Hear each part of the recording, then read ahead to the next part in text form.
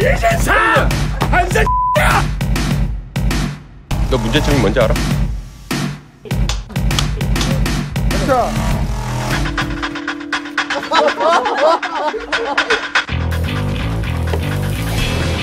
추운데 바들바들 떨면서 스태프들이랑 다 같이 했던 것도 생각나고 뭐 오버타임을 한 10시간씩 해서 고생한 것도 생각나고 많은 분들이 다 같이 하니까 이렇게 할 수 있지 않았나 싶습니다.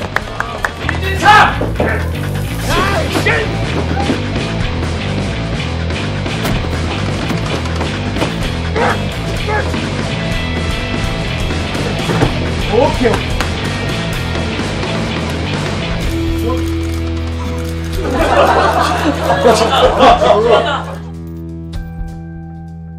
호가 데뷔를 했을 때 로드키 무대가 가장 많이 기억에 남고 그 무대에 올라가기 전에 형에게 히야라고 외치는 그 장면이 정말 뭉클을 했던 것 같습니다.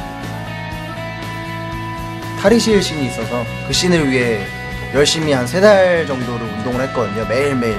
갑자기 그 씬이 없어졌더라고요. 찍기 하루 전에. 그게 정말이지 아쉽고 감독님이 원망스럽네요.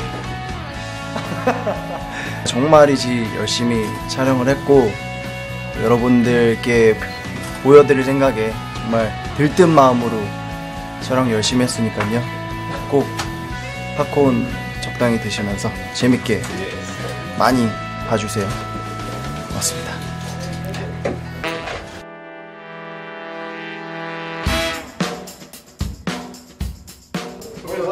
아,